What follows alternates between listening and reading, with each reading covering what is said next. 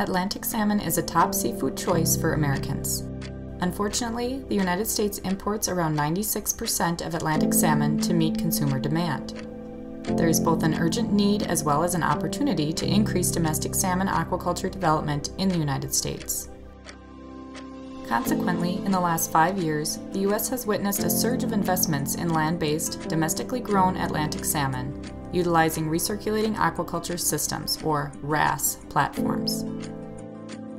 An estimated $2 billion has been committed to or planned for investment in the development and construction of land based Atlantic salmon operations across the nation. Although this sector is showing high interest and investment, there remains important bottlenecks and barriers that need to be overcome to support the sustainable growth and industry development. In 2019, the National Oceanic and Atmospheric Administration's National Sea Grant funded the Recirculating Aquaculture Salmon Network, or RASN, a coordinated, national, public, private, and federal consortium of experts established to help build capacity for this booming industry. RASN is the first of its kind public-private collaborative network and a hub of multidisciplinary expertise in land-based aquaculture and salmon technologies. Through strong industry and stakeholder support, RASN is facilitating the growth of environmentally sustainable and economically feasible Atlantic salmon production in the U.S. So excited about when we wrote this proposal is that we could do something so different with this new industry. It would be so revolutionary. It would just overwhelm everybody else. I mean, it would be a leadership, it would be a model for other ways we do food production. That's what's so exciting about this proposal. The activities and deliverables of RASN are stakeholder driven, a key component to RASN's foundation and mission. The guiding principle of the network is to understand industry gaps, impediments, and needs. This is what the industry uh, wants to see done in terms of research and overcoming bottlenecks and, and closing gaps. It's, it's, a huge industry that we are expected to help uh, succeed. Annual workshops provide opportunity to engage with stakeholders, bringing in national and global experts in RAS technologies and Atlantic salmon for their input and guidance. The first annual workshop, hosted by the University of Wisconsin Stevens Point Northern Aquaculture Demonstration Facility, located in Bayfield, Wisconsin, was in December 2019. I'm so excited to see everybody here and to meet everybody. I've been in this industry for 30 years. And uh, I have to say, this is probably one of the most exciting things I've ever seen. Attendees included individuals from around the country as well as internationally and represented a variety of experts from private industry to state and federal representatives in research, education, and extension.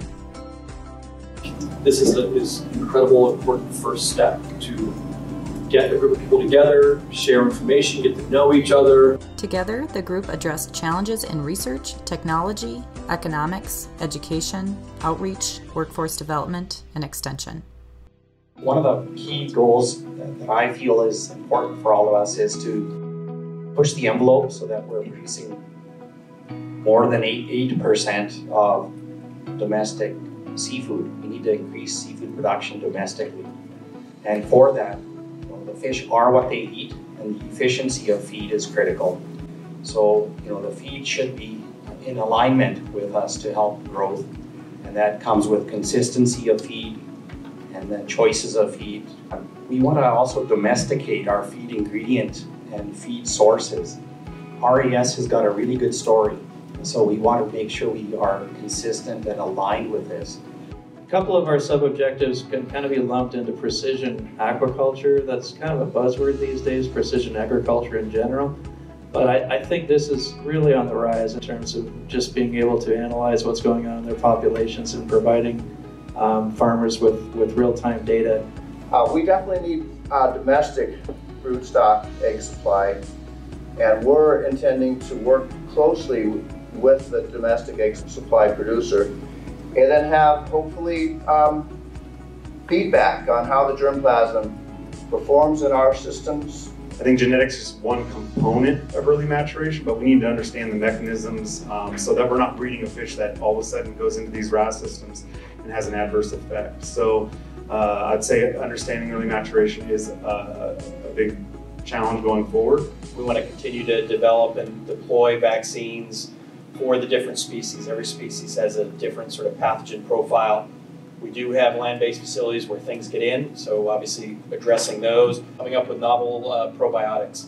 I think a lot of the probiotics that are out there have been sort of terrestrial ones that have been adapted to um, the aquatic realm. So we are obviously using metagenomics and looking at some novel aquatic probiotics that would really work in, um, in a variety of species. The engineering solutions specifically to reduce energy costs. That's something I've heard for years, that that's a key area for RAS systems to becoming more profitable is how do you get that energy cost down? Ultimately, we have a tool that can help um, understand how the large investments that you are all making will generate returns under uncertainty. I think it's going to be a very great, uh, a great product not only for folks that have already made substantial investments, but for new, uh, you know, entrants into this market as well who are making decisions whether to invest the money and what those expected returns could be and how those returns would vary depending upon factors that are influenced by global markets. What core concepts and skill sets do these training programs need to have to give that foundation so that we can hire someone out of that program and then give them the additional training for our decisions and our facility and our protocols? Where's your entry point? Where do you envision your entry point being for your workforce development? And where do you envision your entry point being for your content understanding of RAS with SAM? So if you decide that early on, you're going to have a lot easier time getting to your workforce development program, whatever that's going to be. I think the workforce development needs to be better articulated about where we can go and what the industry really needs and what the universities or the public school systems can provide. Outreach to a full set of stakeholders which will make this uh, RAS really grow in this country successfully and that it will make the industry and investment partners more comfortable with growing the industry. I think we heard a lot about the research needs and research outcomes. Economic analysis is going to be really key and then really getting that into something that's digestible by the rest of the community will be important. So, so I'm excited about the extension component um, and we're ready to move forward. The information gathered from stakeholders is being used to create a fluid white paper and eventually into the final deliverable, a national strategic plan or industry roadmap that will include an extensive analysis of the status of the industry, including projected growth, research needs and priorities, as well as mechanisms to promote public private partnerships, technology transfer, and community engagement. For more information on this project and deliverables, please visit rasn.org.